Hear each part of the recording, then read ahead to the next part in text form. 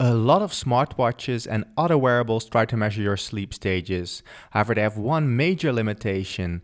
All of them use things like movement and heart rate to estimate your sleep stages. This means that if you are sitting still, they will sometimes record it as being asleep. And this is exactly what happened to me when I went to see the Batman last week. I was wearing a Samsung Galaxy Watch 4 Classic, three Oura rings, and the Whoop Strap 4.0, and all of them recorded different levels of sleep during the movie.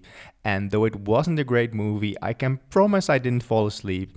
This is why when scientists want to measure sleep, they also measure your brain waves using a technique called polysomnography. Still, some smartwatches are definitely much better at tracking your sleep than others. And you can see that in this overview right here with the best devices on the top right. So the best devices include different Fitbits, the Whoop strap and also the Withings sleep analyzer. The Oura ring is not amongst the best ones but also not the worst and the Samsung Galaxy Watch 4 Classic is mediocre.